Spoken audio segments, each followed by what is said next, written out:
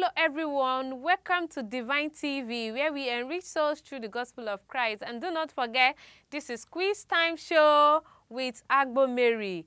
On the show, I get to ask you one question and the first 10 persons to answer the question correctly get 1 gig data from D'vine TV. On the previous show, my question was, who is the guest on She Word episode 5?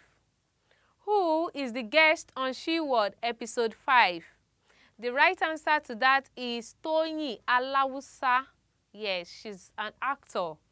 Her name is Toyin Alausa. We had her on She Word episode 5. On the show today, my question is, what book of the Bible is in between Titus and Hebrew?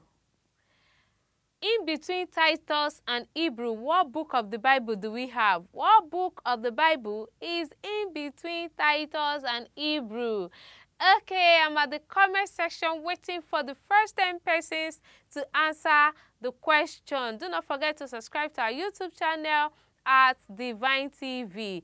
Follow us on all our social media handles at Divine TV. Divine TV, enriching souls through the gospel of Christ.